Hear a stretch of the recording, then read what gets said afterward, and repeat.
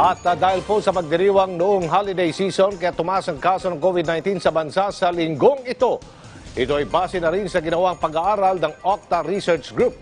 May paliwanag naman ang Department of Health kung bakit tumaas ang kaso ng COVID-19.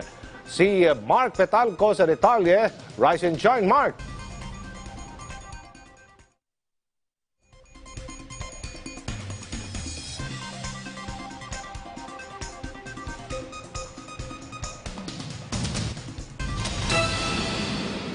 Nagbabala ang Okta Research na posible pang tumaas ang kaso ng COVID-19 sa Metro Manila sa mga susunod na linggo. yung pagtaas ng mga kaso, siguro inevitable na yan, talagang tataas siya.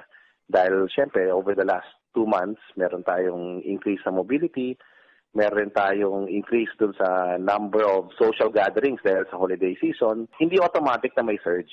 Yung surge, pwede natin ma-reverse yan by simply doing our share. Pero may mas malaking bagay pa na pinangangambahan ng Okta na posibleng makaapekto sa trend ng COVID-19 cases sa bansa. there is a great possibility that uh, the you know the uh, new strain is here. So that's why we have to be more careful.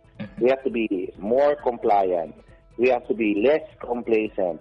Ang reproduction number sa NCR na 1.17, indikasyon umano na mas mabilis nang kumalat ang virus. Pero ayon sa Department of Health, nakikita natin yung growth ng cases ngayon sa NCR medyo nagsastabilize. No? Dati kasi may positive growth tayo. Nakita natin ngayon dito sa ating mga bagong tinatalang mga kaso, ang NCR ay medyo ah, hindi sila nagbibigay no, ng pagtaas ng mga kaso. Nasa ibang regions natin nakikita sa ngayon. ang pagtaas ng kaso inaasahan na ng DOH lalo't balik operasyon na ang mga laboratorio at marami na sa mga ito ang nakakapagsumite ng datos.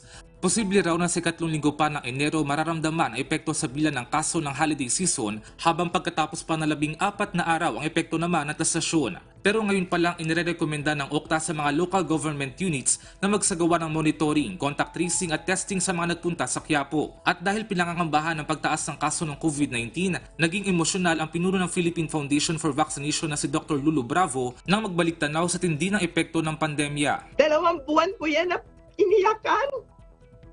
At naipangako ko sa sarili ko na yung mga susunod na buwan na kung maari akong makatulong para maibsan ang ating pandemya, gagawin ko. Kasabay nito umapela rin si Bravo sa publiko na pagtiwalaan ng bakuna at huwag makinig sa mga self-proclaimed vaccine experts. Git niya anuman ang brand, lahat ng bakunang maaprubahan sa bansa ay dumaan sa masusing pag-usuri ng FDA.